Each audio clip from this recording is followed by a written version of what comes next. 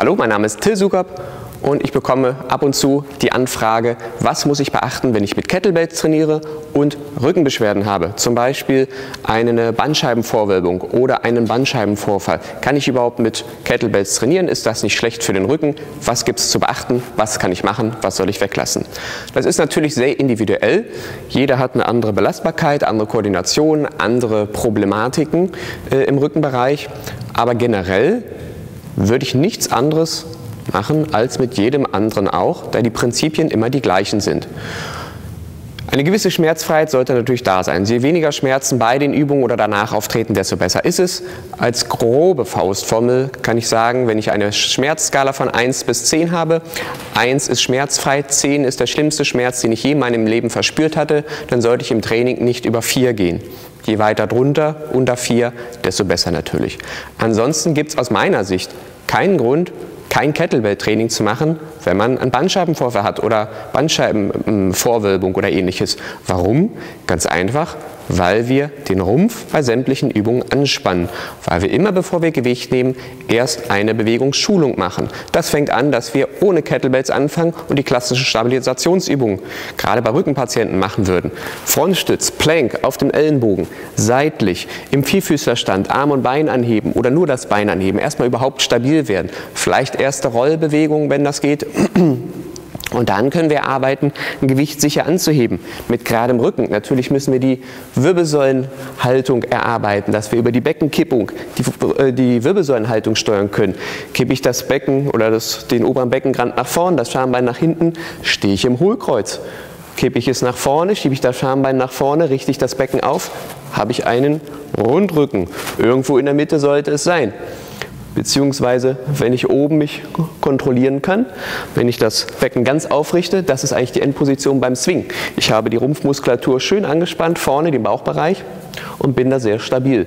Und dann erarbeite ich das Kreuzheben mit einem Stab im Rücken, dass ich erstmal zeige, wie ist die gerade Wirbelsäulenhaltung. Wenn das alles klappt, warum soll ich dann nicht Gewichte anheben? Auch schwere Gewichte. Die Kettlebell wird zwischen die Fußgelenke gezeigt, Kreuzheben wir das erste, der Po geht nach hinten, Hip Hinge heißt es im Englischen, diese Bewegung, die Knie nicht nach vorne schieben, die Knie Schienbeine bleiben vertikal, Po nach hinten. Und dann lernen aus der Hüftbewegung heraus, durch die Fersen heraus, äh, durch die Fersen durch, aus der Hüfte heraus anheben das Gewicht und dann zwischen den Knien unterm Körper absenken. Was machen die meisten? Die sehen ein Gewicht, sind es nicht mehr gewohnt, Gewichte anzuheben heben so an, vorm Körper, heben alles aus dem Rücken, arbeiten überhaupt nicht mit dem Körper im Einklang, heben es an oder heben es unterm Körper an und setzen es dann so ab. Deswegen. Gewichte werden möglichst körpernah angehoben, unterm Körper anheben und dann unterm Körper zwischen den Füßen absetzen. Bei einer Kettlebell. Wenn ich Langhantel nehme, muss die möglichst an den Beinen lang streichen. Das wäre das Ideale. Dicht am Körper arbeiten. Der Rücken ist also stabil. Was kommt als nächstes? Swing. Wenn das Kreuzheben funktioniert, mit verschiedenen Gewichten arbeiten, dann kann ich den Swing arbeiten. Der Swing ist ja nichts anderes als schnelles Kreuzheben. Ich starte hinter der Kugel, ziehe sie nach hinten, Ich habe vorher ausgiebig erlernt, dass der Rumpf stabil ist.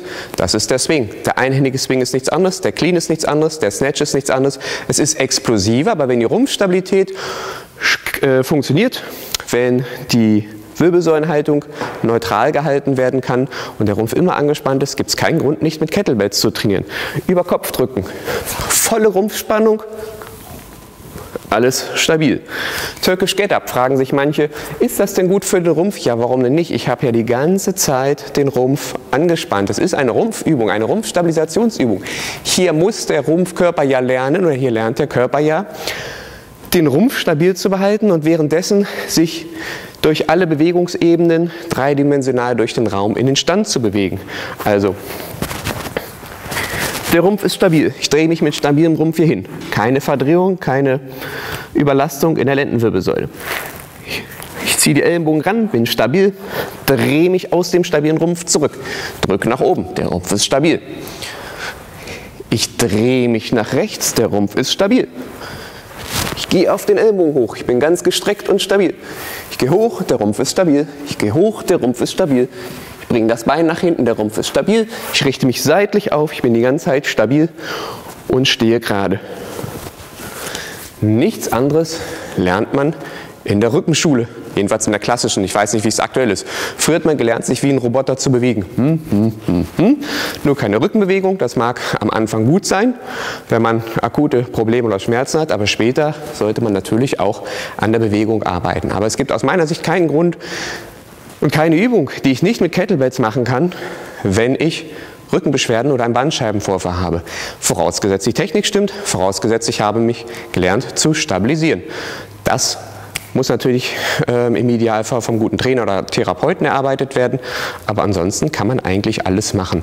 Bei der Windmill wird die Lendenwirbelsäule ein bisschen verdreht, die würde ich natürlich erst später hinzunehmen, aber ansonsten kann man im Prinzip alles machen. Wie gesagt, Ausnahmen gibt es immer, weil jeder Fall anders ist, aber grundlegend sehe ich keinen Grund, warum ich nicht mit Kettlebells trainieren sollte und wir haben das ja auch schon mit Rückenpatienten erfolgreich gemacht und es wird auch so gehandhabt.